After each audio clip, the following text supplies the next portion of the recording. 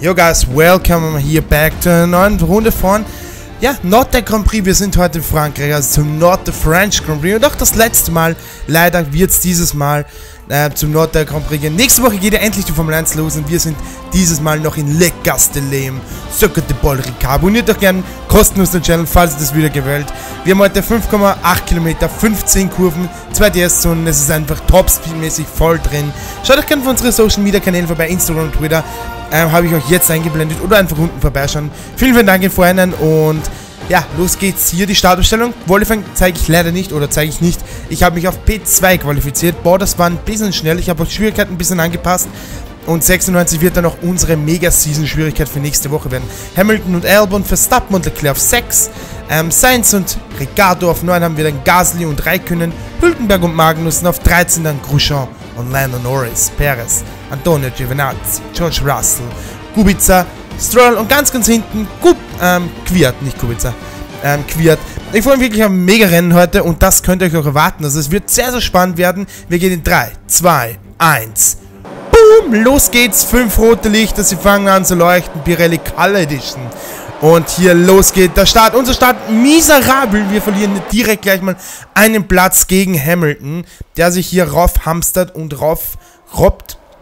Schade, aber doch kommt's da. Äh, ja, äh, Verstappen auch fast vorbei, aber wir können hier noch Gott sei Dank konnten in die erste Kurve rennen. Und das ist auch Glück. Wir sind, ähm, ja, haben einen Platz verloren. Gott sei Dank aber nur gegen die beiden Mercedes, die extrem stark sind natürlich noch. Wir haben nämlich hier die Anfangsseason und da sind die Mercedes einfach un... Na, unschlagbar nicht. Also wir werden sie hoffentlich schlagen können und hoffentlich werden wir auch sie kontern können. Aber trotzdem wird das halt ziemlich ein, ein ja, ein ziemliches hingehackt werden mit denen, weil ich weiß auf jeden Fall, dass das sehr, sehr schwierig wird, die zu überholen und ja, wir kommen zwar hier dran in den Kurven, weil die auch ein bisschen fighten und sich gegenseitig ausbremsen, aber ob wir da vorbeikommen, das wird noch eine andere Geschichte werden. Äh, wie gesagt, lasst euch einen Daumen oben da, falls euch das Video gefällt. Nächste Woche dann in der Mega Season Edition, leider noch nicht im F1 2020. Ja, gehen einfach nicht, aber wir können da eigentlich eh nicht, weil die haben auch in F1 2020 nicht den Kalender drin. Also sprich ähm, Spielberg, Spielberg, ähm, Ungarn, Großbritannien, Großbritannien, diesen Kalender haben sie nicht drinnen. Das bedeutet, wir müssten sowieso eine Meisterschaft fahren. Ah, nicht eine Meisterschaft, einfach nur Grand Prix und da einfach ein paar Rennstrecken zusammengeben. Ich weiß nicht, ob man in Grand Prix überhaupt zwei, drei Rennen oder zwei gleiche Rennen reingeben kann. Ich weiß, es geht in Online, aber ich weiß nicht, ob es in Offline geht. Das ist so ein bisschen meine ja, Frage. Meine, äh, ja, da kann ich echt noch nicht ganz sagen, ob das Ganze funktioniert. Falls nicht, muss ich halt jedes Mal ein neues Rennen starten und dann einfach ja die ganzen Punkte selbst zusammenrechnen. Das wird zwar mühselig, aber ich denke mal, das, das werden wir dann irgendwie auf jeden Fall hinbringen. Und ja, zack, wir sind in der zweiten Runde und wir sind auch ein schön an Hamilton. Wir können uns hier ab, ja, absetzen nicht, aber wir kleben hier schön dran. Und hier haben wir die, die dreisten drei. Wir sind die drei auf ein... Oh, da habe ich ein kleines Schildchen mitgenommen. Und zack, schaut euch das mal an. Wir, wir können mithalten, aber es wird ziemlich schwierig werden, hier die beiden Mercedes zu holen. Die geben sich nämlich gegenseitig Windschatten natürlich. Der, der, der eigentlich im A, die Arschkarte hat, sorry, aber der die, die, die schlimmsten Karten hat, ist natürlich Bottas auf 1, weil der natürlich nachher, wenn das DS losgeht, einfach gar keine Chance hat.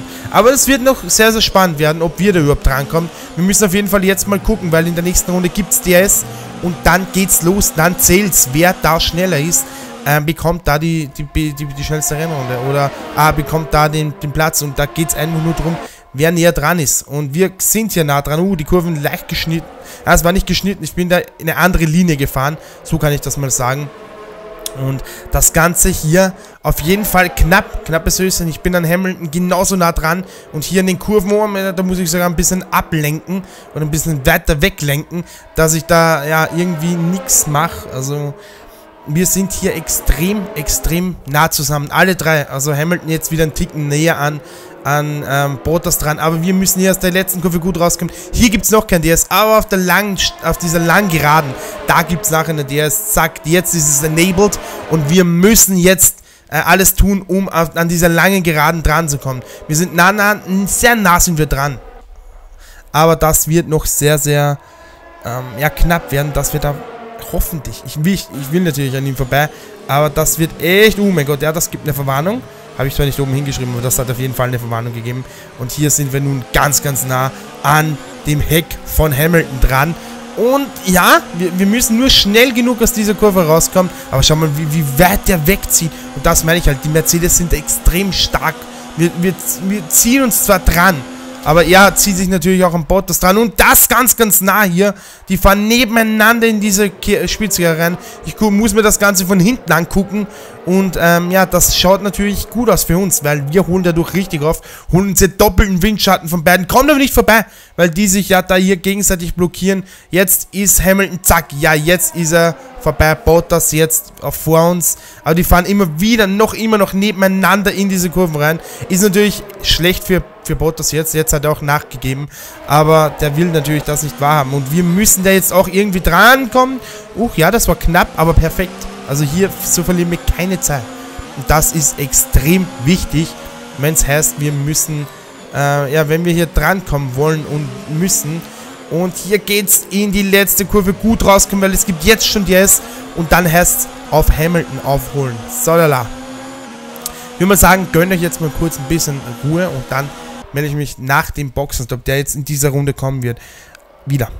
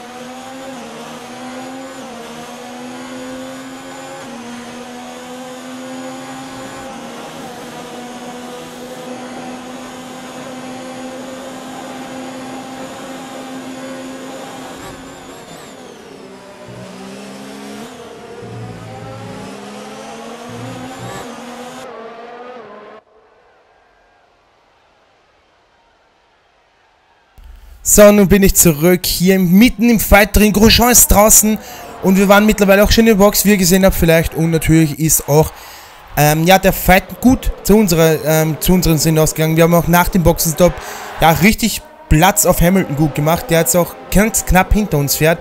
Und wir sind hier ganz, ganz knapp gegen Ocon an. Geht sich noch nicht aus. Aber es ist auf jeden Fall ein richtig cooles Rennen. Hoffentlich gefällt es euch natürlich und würde mich extrem freuen. Oh mein Gott, hier mit einem letzten Dreher fast, muss ich schon, ja, will ich schon sagen, geht es hier in die letzte Kurve rein, wo wir ja fast neben Ocon rauskommen. Und ich, ich will hier natürlich im Windschatten direkt vorbeiziehen. Es gibt jetzt auch, ah doch, der es gibt's und wir können das auch. Zack, hier im Windschatten, erste Kurve rein. Und da will ich natürlich ein bisschen vorsichtig sein. Wir fahren nebeneinander durch die erste Kurve durch. Okay, da habe ich die Vorsicht ein bisschen verloren. Und das gibt den vierten Platz bis jetzt. Mal acht Runden, äh, achte Runde. Das heißt, wir haben noch fünf Runden übrig. Also wir müssen auf jeden Fall auch uns ein bisschen sputen, dass wir da noch vorbeikommen und dass wir da unseren Platz, ähm, ja, unseren ersten Platz oder den ersten Platz, den wir wollen, hier noch holen können. Das ist natürlich so, lala, und jetzt nächstes Opfer, will ich schon fast sagen. Giovinazzi, der noch natürlich noch nicht gestoppt hat. Und das bedeutet natürlich, wir, wir haben da leichtes Spiel, aber es sind doch noch ein paar uns. Das Gute ist auch, dass ähm, Bottas und, die, und auch Hamilton natürlich gestoppt haben. Das heißt, so im Fernduell sind wir theoretisch schon Erster. Aber man weiß natürlich nie, was passiert. Und äh, ja, deswegen hoffe ich natürlich trotzdem, dass das alles gut ausgeht. Und vor allem, dass wir hier einfach überzeugen können. Das ist Einfach so. Also ich bin wirklich der Meinung, was schreibt, was man jetzt schreibt, genau jetzt, wenn ihr, wenn ihr wollt, in die Kommentare, was wir werden. Also ich denke mal, das könnte gut für uns ausgehen, aber es ist natürlich nie so, ja, keine Ahnung. Man, kann immer sagen, es geht gut aus und dann passiert irgendwas und es ist, es ist wieder vorbei. Also man, man soll, soll, den Tag nicht vor den Abend loben und das ist auch mein Motto immer so ein bisschen beim Rennen. Apropos Rennen, am Dienstag kommt natürlich auch noch nach wie vor unsere Karriere Donnerstag dann wahrscheinlich auch und das wird dann noch das letzte Rennen sein. Also es sind ja nur noch, nein, es sind glaube ich noch fünf Rennen oder so. Hier im Hintergrund haben wir auch beide Mercedes schon, die wir jetzt überholt haben und jetzt endlich auf 1 sind. Jetzt kommt ein kleiner Sprung, wir sind in der 12. von 13 Runden, konnten unseren Vorsprung zu Bottas und Hamilton leicht ausbauen. Hamilton jetzt struggelt ein bisschen und hat dadurch den Platz gegen Bottas verloren. Aber er ist noch gut auf dem dritten Platz und ich glaube, das kann er auch ins Ziel retten und ins Ziel fahren. Also das wird auf jeden Fall, denke ich mal, ja, doppelt Mercedes und wir dann natürlich ganz oben. Das heißt, wir und dann links und rechts am Mercedes. Das ist natürlich auch sehr, sehr, denke ich mal, ja, ziemlich äh, interessant. Aber ich finde das, ich finde das auch ziemlich cool. Also, das gehört sich so. Und also wir natürlich ganz oben. Das, wer links und rechts steht, ist egal, aber wir müssen ganz oben stehen. Und das letzte Mal in der Note-Serie fahren wir auch als erster in die letzte Rennrunde. Final Lap für uns jetzt nun. Und drücken Sie Daumen, aber ich glaube mal, das ist durch, das ist in trockenen Tüchern. Wenn wir die 14, jetzt noch 13 Kurven haben, sind wir im Ziel und theoretischer Weltmeister unserer kleinen Nord-Serie, weil er keins mehr kommen wird. Ich glaube auch nicht, dass dieses Mal, dieses Wochenende noch die Formel 1-Fahrer fahren, weil ja, die, die wären ja schon gefahren. Also, nein, ich glaube, dass, dass wir einfach den letzten Norddeck Grand Prix fahren. Die, meinst, die meisten Teams sind nämlich auch in Spielberg schon angereist, habe ich gehört. Und die werden einfach dort, die werden jetzt dort schon ein paar Tests fahren. Also, also so ein paar Probo-Runden und so nicht Probe, Promo-Runden und so, so Clips-Runden, also für, für, für Filme oder so, äh, nicht für, für, Werbung oder so, werden dann immer so ein paar Probeclips von ein paar Teams gedreht. McLaren ist ja auch fast pleite, aber dazu kommt wahrscheinlich so Donnerstag, Freitag noch ein spezielles Video, wo wir nochmal auf die Saison 2020, auf die kleinste, vermutlich schmalste Season äh, eingehen, die es bis jetzt gegeben hat in der F1-Geschichte. Also Sei gespannt, abonniert den Channel, dass er nichts mehr passt. Wir fahren hier durch die letzten paar Kurven durch und dann endlich ins Ziel, Leute. Hier diese eine Kurve, da dreht du auch immer das Heck weg. Aber alles gut gegangen und jetzt geht es in diese letzte langgezogene Links- und kurze Rechtskurve. Und dann sind wir da, dann haben wir es geschafft. Dann ist das Ziel zum Greifen nah und auch da, zack, letzte Kurve und hier ist die Jagged Flag, wir gewinnen den großen Preis von Frankreich, die Notte French Grand Prix hinter uns, also Bottas und Hamilton, beide Mercedes haben es geschafft und es geht auf die Siegerehrung. Zur Siegerehrung, nicht auf die, auf, aufs Podium zur Siegerehrung, so, so kann man sagen. Und so will ich es natürlich auch sagen. Sebastian Vettel, wir sind da alias Sebastian Vettel gefahren und haben es, denke ich mal, gut gemacht. Ich meine, was will man mehr von 2 auf 1 und das in 13 Runden, obwohl eigentlich auf komischen Weg, weil ich wollte einen Undercut machen und der hat nicht ganz, ganz funktioniert. Ja, funktioniert hat er schon, also muss man sagen, er hat funktioniert, aber ja, ich hätte es mir anders vorgestellt. So, und natürlich, falls euch das Video gefallen hat, würde ich mich gern über ein kostenloses Abo und natürlich auch über ein Däumchen herum freuen. Also vielen, vielen Dank schon meine Freunde und hier sind wir nochmal. Leclerc, noch, doch nicht, Hamilton hat es nicht das Podium geschafft. Habe ich gar nicht mehr gesehen. Hamilton hat es nicht das Podium geschafft. Schaut gerne auf Twitter und Instagram vorbei. Das ist natürlich schade für ihn, aber er hatte ja natürlich auch Probleme. Und seid auch nächste Woche dabei, wenn dann der Saisonstart, die Mega-Season, das Training und Qualifying Samstag, das Rennen am Montag und am Sonntag dann die Hot Lab. Also viel, viel Formel 1 Action nächste Woche und wahrscheinlich dann noch das Experiment noch. Also vielen, vielen Dank fürs Zuschauen. Schade, dass das Experiment heute nicht kam. Wie gesagt, da kam das dafür. Aber schaut gerne nächste Woche vorbei. Vielen, vielen Dank fürs Zuschauen. Bis zum nächsten Mal. Lasst ein Abo da und ciao.